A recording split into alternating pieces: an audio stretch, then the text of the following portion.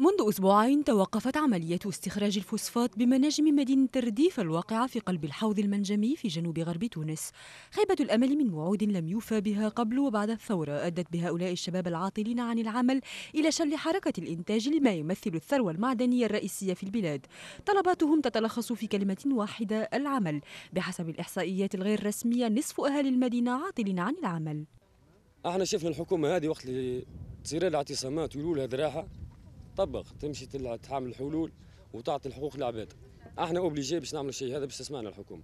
mais نقولها إحنا راهم contre contre الاعتصام. الله غالب nous sommes obligés مع خمسة ألاف موظف شركة قفصة للفوسفات هي أكبر ربوب الأعمال في المنطقة.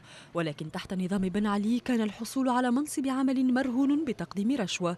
زهير أحد ضحايا هذه السياسة. فرغم مخاطر العمل في المنجم هذا الشاب ذي 28 عاما والحاصل على شهادة هندسة ميكانيكية أخفق مرتين في مسابقة التوظيف. ثم علاقة ما بين إحنا وياها شركة فوسفات قفصة. هي الأم وإحنا أولادها.